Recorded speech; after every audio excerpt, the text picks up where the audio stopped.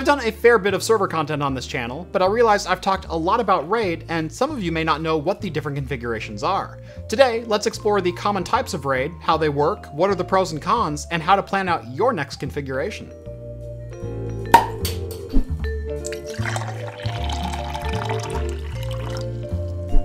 Welcome back to Craft Computing, everyone. As always, I'm Jeff. For starters, what is RAID? Well, RAID stands for Redundant Array of Independent Disks, or inexpensive disks depending on who you ask. It's a method of combining two or more hard drives into a single logical disk, often to improve performance or provide redundancy in case of disk failure. The drives I'll be using today are the two 240GB Seagate IronWolf 110 SSDs, as well as the four 14TB IronWolf NAS drives. All of these drives are SATA interface, but the concepts apply to SAS or NVMe disks as well with the right controller. Basically speaking, there are two different ways to configure RAID, one through hardware and one through software. Hardware RAID typically requires the use of a RAID card, like this Intel RMS 25PB040, which supports up to 8 disks natively. There are as many varieties of software RAID as there are operating systems, so today we'll be focusing on the ZFS file system and RAID-Z for demonstration. With hardware RAID, your computer does not generally see the individual physical disks plugged in, and can only see the RAID volumes you create. Hardware RAID is typically configured on the card before your computer boots into BIOS. This allows you to configure your disks and tell the BIOS which RAID volume the system can boot from. One advantage to hardware RAID is it is less resource intensive on your system, as most of the work reading and writing is handled by the RAID card itself. It also tends to be faster than a lot of other solutions, especially when using RAID cards with large amounts of cache memory. Software RAID works just a little bit differently. It's configured inside your operating system, and your OS is able to see each disk individually, plus the resulting RAID volumes you create. If you're only using a couple drives, you should be able to just connect the disks to your motherboard's onboard SATA controller and off you go. If you need larger arrays, you can use a host bus adapter, otherwise known as an HBA. Similar to a RAID card, an HBA typically has either SATA or SAS connections on board, which can break out to four ports each. The HBA I'm using today is the HP H220. It's a little bit older card, but you can snag one on Amazon for about $45. There are a huge number of consumer motherboards on the market which claim to support hardware RAID in the BIOS. However, the vast majority of the onboard systems are actually not hardware RAID. They emulate RAID through software. There's no performance increase and only a little bit of added redundancy. If you are configuring a home server and performance is one of your goals, do consider getting yourself either a RAID card or an HBA. However, if redundancy is your main goal, these configurations often work just fine. There are two main cable types for connecting disks up to HBA and RAID cards, both of which are referred to as mini SAS connections. The ports on the cards I have today are both mini SAS SFF 8087 ports, which offer up to 6 gigabit speeds on 4 disks per SAS port you have. Using a breakout cable like this one, which connects your mini SAS port to up to 4 SATA or SAS disks at the same time, or connecting to a backplane allows each of these controllers to manage 8 disks at once. There are also chassis out there, like the Inwin RS212, which use what's called an expansion backplane. That allows the two ports on this RAID card to manage all 12 disks in the server at the same time, rather than just the 8 it's normally limited to. In theory, and with the right expansion method, this card could actually be used to control up to a 1000 disks at the same time. However, make sure to check your RAID card's documentation to make sure that is a supported feature. Also be aware that you will still be limited to the bandwidth of these two ports. The other cable is called a Mini SAS SFF8643. I know, it's a real intuitive name. Like the 8087, the cable supports up to 4 drives per port, but at 12 gigabit speeds instead of just 6. At the moment, only high-end SAS drives are capable of this speed, but SAS controllers do support connecting SATA disks. However, you cannot plug a SAS drive into a SATA-only controller, so keep that in mind when selecting your RAID card or HBA. The cables are both backward and forward compatible. Both of my cards use 8087 ports, but the Inwin RS212 has 8643 ports on its backplane. Converting one port to the other is no problem at all with the right cable, but keep in mind you will only get the speed of your slowest interface. Now that you know how to connect your drives, it's time to get them set up in a RAID. We'll start with hardware RAID and its available configurations. The best way to plan your RAID configuration is to determine beforehand what you want out of it, and what the pros and cons of each RAID method are. The three main considerations are as follows. Speed, for either reads or writes, redundancy, to keep your data safe in the event of a disk failure, and size, how much storage space you need in your RAID volumes. While there are methods of RAIDing disks together with non-matching capacities, today we're only going to focus on match disk configurations. Also keep in mind that every RAID controller uses its own configuration method and will have its own GUI design. For instructions on how to use your exact RAID card, make sure to follow your card's instructions. Starting with configurations that only require two disks, we have RAID 0 and RAID 1. RAID 0 is what's known as a striped volume configuration. It's kind of like duct taping two disks together to get double the speed and double the capacity.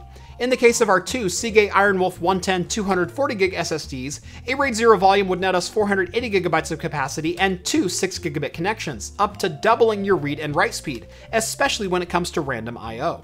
The downside of a RAID 0 is there is double the chance of failure as well, and if you lose one of your disks, well, you lose all of your data.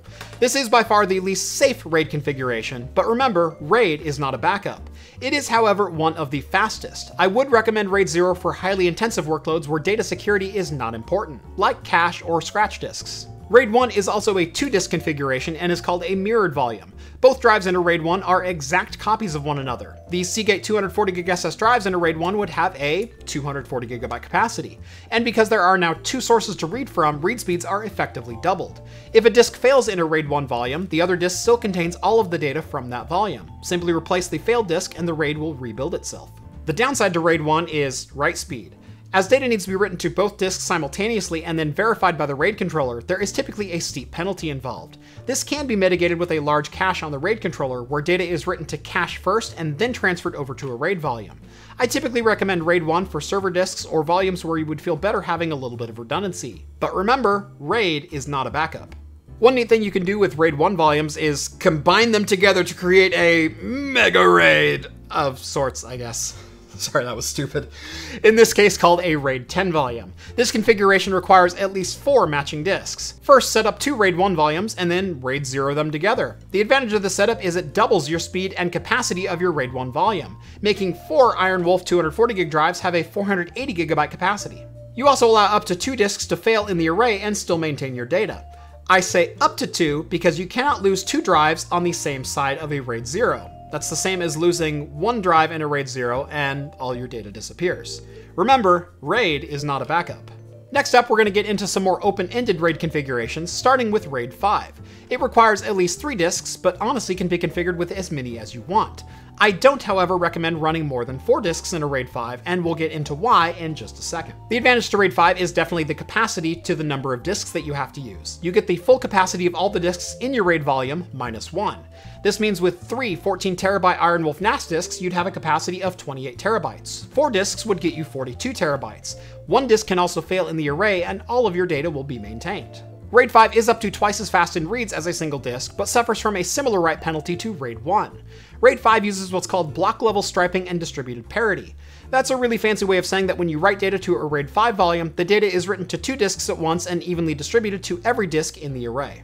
There are a number of people who recommend against using RAID 5 for large capacity arrays, as the time to rebuild an array can stretch into days. In that time, if another disk fails, you will lose all your data in the array. I have seen this happen personally, but it is exceedingly rare. But again, repeat after me, RAID is not a backup. Did you say it? The RAID configuration I've been recommending most over the last couple years, and in fact have moved my FreeNAS server over to, is RAID 6. It works very similar to a RAID 5 setup, but requires at least 4 drives instead of just 3. But it comes with the safety net of having 2 disks fail instead of just 1. But remember, RAID is not a backup. The capacity of a RAID 6 is the full array minus 2 drives, so a 4 drive array of our 14 terabyte IronWolves would net us 28 terabytes in total. However, the sweet spot is when you hit 6 disks or more. Six 14 terabyte drives in a RAID 6 gives you 56 terabytes of usable space. 8 gives you 84. It's just about the best of every world when it comes to RAID. In a 4 drive configuration, there's even more data security than a RAID 10, as any two disks can fail in a RAID 6 and you will still be okay. But remember, RAID is not a backup. The array is also expandable well beyond 4 disks as well. There are bigger capacity hits to this configuration, but if large capacity and safe storage is your goal, this is by far my favorite configuration. You can also stripe together a RAID 5 or a RAID 6 array into a RAID 50 or RAID 60, same exact concept as a RAID 10. So that is hardware RAID in a nutshell, but what about software RAID? The RAID configurations I listed earlier are available through a number of onboard RAID controllers on your motherboards, as well as many OSs have software RAID configurations built in. A RAID 1 is still a RAID 1, whether it is software or hardware controlled. What will be different is the performance, depending on what you use to configure the array. In both my FreeNAS and Proxmox tutorial videos, I mentioned using ZFS, or the Z file system, when configuring drives on those servers. ZFS has its own RAID system based on the same principles of hardware RAID, and without the performance loss of software emulation. It does, however, require more out of your CPU, as RAID and parity operations are not handled by dedicated RAID hardware. RAID Z offers striped and mirrored setups along the same lines as RAID 0 and RAID 1. These come with the same advantages and disadvantages as hardware RAID, except for one. Without a hardware RAID controller, you typically don't get read and write cache on your HBA. Again, if your server is going to be performance-based, you may want to consider adding an SSD as a cache drive. FreeNAS is one operating system that can take advantage of cache drives to speed up data access, rather than waiting on your RAID Z to complete the operation. RAID 5 and RAID 6 also have equivalents in ZFS, and they're called RAID Z and RAID Z2. And I know what you're asking yourself right about now. You're saying, what is the biggest difference between hardware and software RAID? It sounds like they're pretty much the same thing, just with different names. And to some extent, you're kind of right. Hardware RAID cards can sometimes hold a performance advantage, especially in cards with large amounts of cache. The downside is configuration, as it either happens before an OS is booted or requires additional software and drivers in the OS to manage your arrays. Without visibility into the individual physical disks, your OS may not know a disk is failing, as the RAID will still appear whole even if a drive has died. There is no improving the performance of an emulated RAID from a consumer motherboard. However, software RAID from an operating system can be just as fast or faster than hardware RAID, especially if you can take advantage of an SSD cache disk. Software RAID allows the OS to see each individual disk and alert you to problems without special drivers or software installed. And software RAID is hardware agnostic. If a hardware RAID card fails, it can be difficult or sometimes impossible to recover the RAID without the exact model card to replace it. Migrating a RAID configuration can sometimes be done to another card, but it is far from a sure thing, as different model cards or even sometimes different firmware versions of the same card can prevent a successful recovery. Meanwhile, software RAID only needs the drives to be visible to the OS. It really doesn't care how that's handled on the backend. Here at home in my server rack, both my Proxmox and FreeNAS servers are set up using ZFS RAID. Proxmox with just a pair of mirrored 500GB SSDs at the moment, and FreeNAS with a pair of 60GB SSDs holding the OS, with six 6TB HGST Helium drives in a RAID Z2 for storage. Quiz time to see if you were paying attention. How much usable space do I have with the 6TB drives in a RAID Z2? So there you have it. I know this video is probably a little bit long-winded, but I hope you got something out of it, and I hope it helps you narrow down on which RAID configuration is right for you. If you have any questions, feel free to leave them down below in the comments, and I will try to answer them. Also, let me know if this video helped you understand RAID even just a little bit better, as that makes me feel a little bit better. Be sure to like this video, subscribe to Craft Computing if you haven't done so already, and follow me on Twitter at Craft Computing. And if you're interested in any of the hard drives I showed off today, make sure to follow the Amazon affiliate links down in the video description. Those really do help out the channel when you click on them. And that is going to do it for me in this video. Boy, this has been a long one. This took almost two hours to film. Uh, I do hope you guys enjoyed it, and as always, I will see you in the next one. Cheers, guys.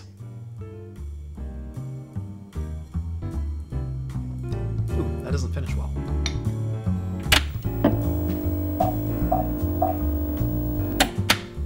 And today's beer is sent in to us from Superfan Caveman over in Wisconsin. Uh, this is the Bell's Brewery in Comstock, Minnesota. Uh, Minnesota or Michigan? Am I? Michigan, excuse me. The Bell's Brewery in Comstock, Michigan. Uh, this is the Winter White Ale. It's a Belgian-inspired wheat ale, and uh, 5%.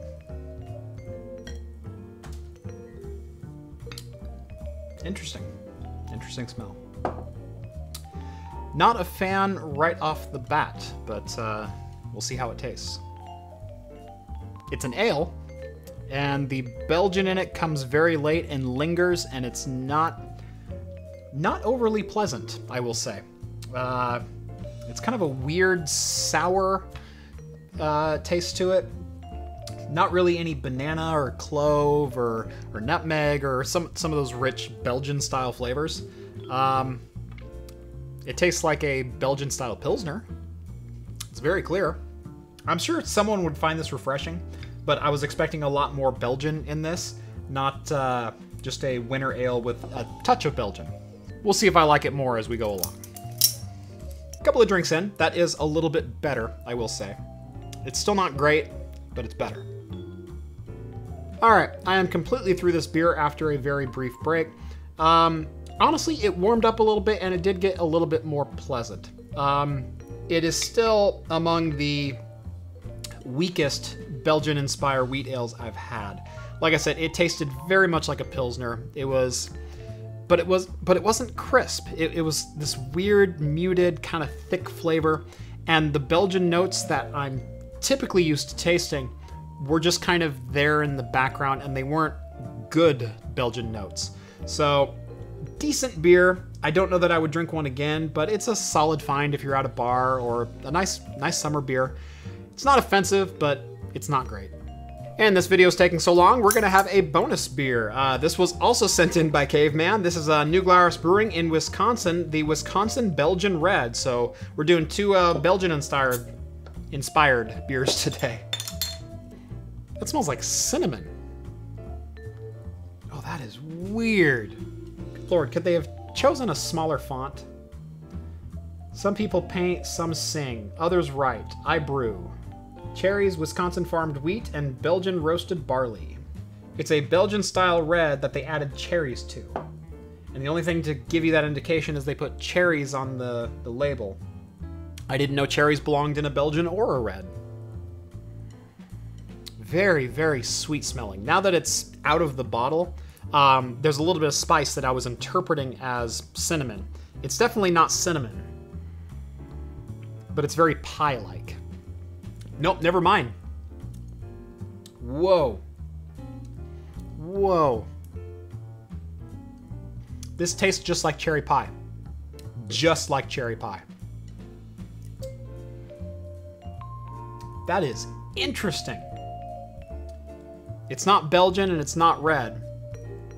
I like it. I definitely like it. I like it, but it's almost too sweet and too sour all at the same time. That is just weird. The warmer it gets, the sicklier sweeter it is. Whew. It's still very, very tart on the backside. It's transformed from like sour to tart. Um, but super sweet. Not syrupy, but well, maybe a little syrupy. I don't know. I feel this is one of those beers that's very unique, but would be best enjoyed in about four ounce quantities. Four ounces of that is definitely enough. I can tell you that because I've had six. It's literally too sweet and too sour at the same exact time, and I really don't know what to do with that information.